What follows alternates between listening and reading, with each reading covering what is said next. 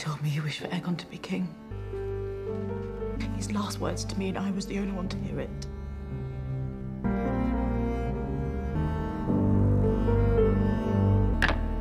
What is it that could not await an hour? The king is dead.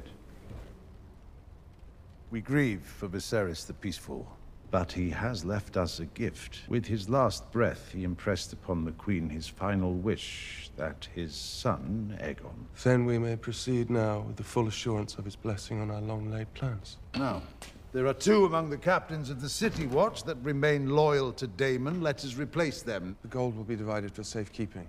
Let ravens be sent to our allies. Am I to understand that members of the small council have been planning secretly? I will not have this. To hear that you have plotted. Hundreds of lords and landed knights swore fealty to the That was some 20 years ago. I am six and seventy years old. I have known Viserys longer than any, and I will not believe that he said this. This is seizure!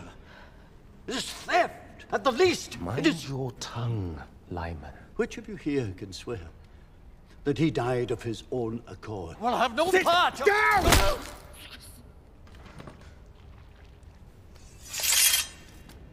Throw down your sword and remove your cloak, Sir Criston. I am your Lord Commander, Sir Criston. I will not suffer insults to her grace the queen. Put aside your blade.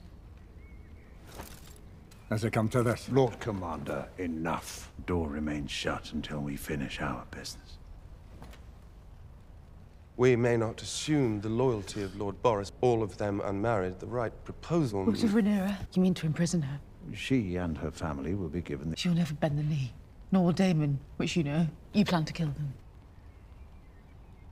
And all here accede to this. The king wouldn't wish for any But the king did not wish for the murder of his daughter. He loved her. I will not have you deny this. One more word, and I'll have you removed from this chamber and sent to the wall.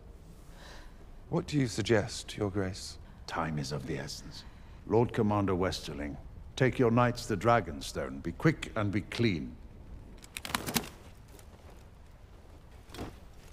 I recognize no authority but the king's, and until there is one, I have no place here.